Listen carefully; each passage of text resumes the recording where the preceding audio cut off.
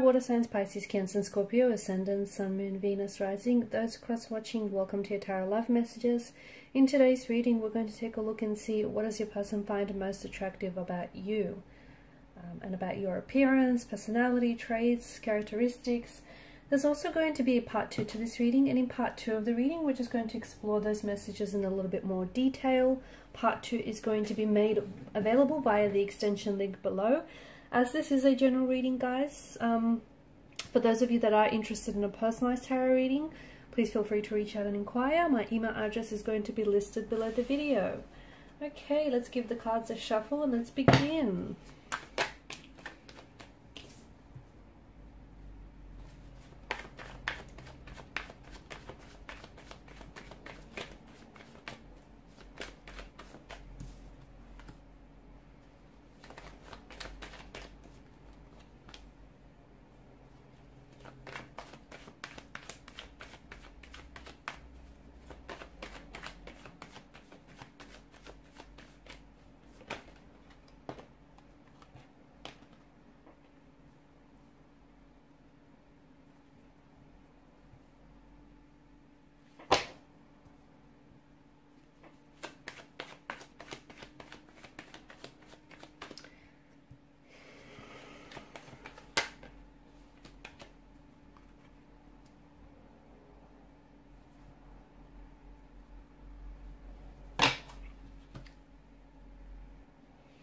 What they what they were first drawn to and what they first noticed about you when they saw you was definitely your eyes okay? There's a lot of expression in your eyes and um, you may have some very beautiful eyes your color maybe um, the color of your eyes may be very um, very beautiful. You might have like or maybe have been the way like for example the day in which you guys have met like there may have been certain specks in your eyes due to the way the sunlight filtered in the room.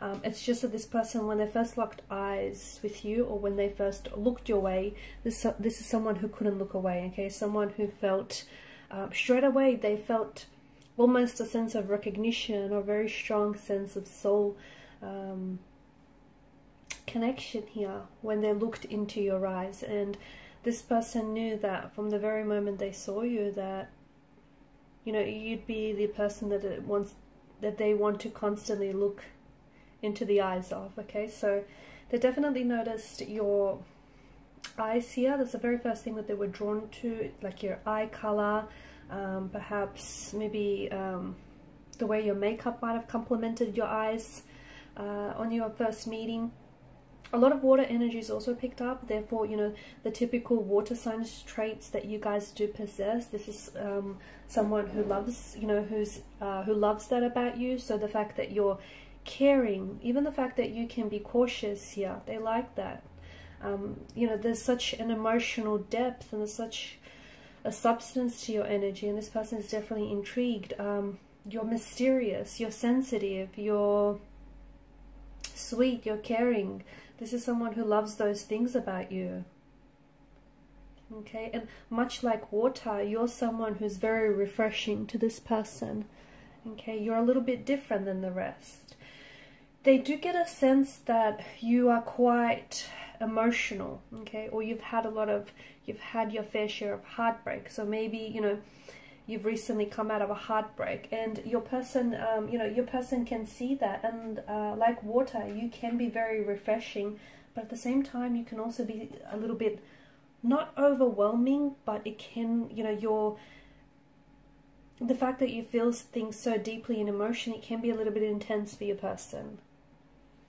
And so they can sometimes drown in your depths um, this person sees that you have a like a desire for security which is showing up in your relationship or in your connection in your energy. So this person knows that you're not prone to risk-taking behavior. Security is important to you you know and much like a container the element of water it needs sorry much like water it needs a container right to or it dries up and disappears. So they understand that you know security is extremely important for you.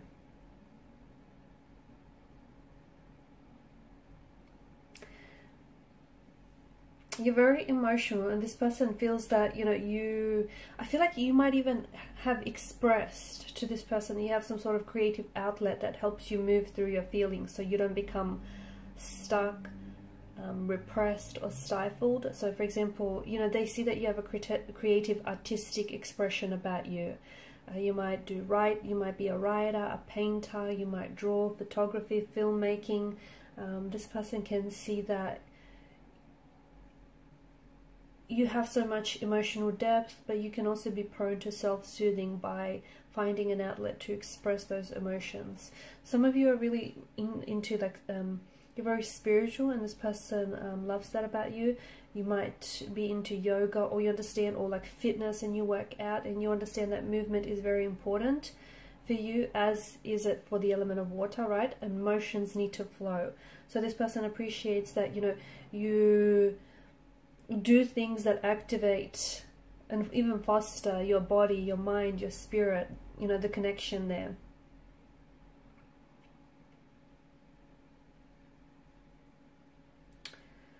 Um, they feel very comfortable with you.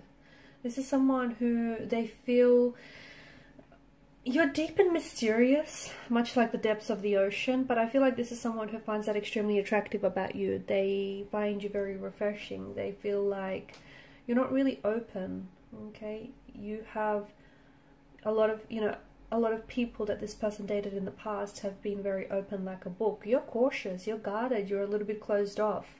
Um, but you know, they also get a sense that you're extremely loyal to yourself, to others, to your values, and they absolutely love that about you. They also feel like you're very ambitious. You're very ambitious, you're very driven, you're very diligent worker, you're extremely loyal, and this person, you know, they don't want to they don't want to be the one to break that trust with you because they get a sense that you're someone who might never give it back. So I see that this person is sort of feeding off your energy and is also trying to become very cautious here. You're coming across as confident or at the very least assertive to this individual and this is someone who's definitely, you know, attracted to that energy. This person is, they can see that you feel the energy and the emotion of a person or of a situation before you even sort of experience it or before you even look at the logic of it. And this person feels like you have like a, uh, an ability, a superpower. They love the fact that you're very adaptable, you have a lot of empathy, uh, you're very dreamy, okay? I feel like that, that's the word they use to describe you. Very dreamy, very creative. They also feel like you you have, you're quite artistic, but you also have a gift for, like a natural gift for healing.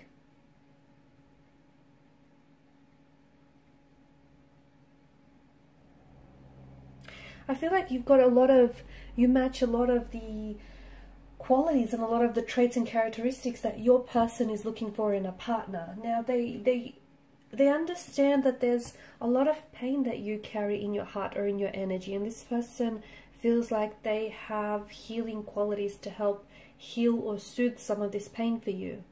Um, they also feel like there's such a healing, soothing quality and energy to you and they love being around you. They feel very comfortable in your presence. Um, they see you as someone very intellectual as well, someone who can hold a conversation, someone who, you know, can um, who, who loves to also stimulate the mind, someone very intellectual.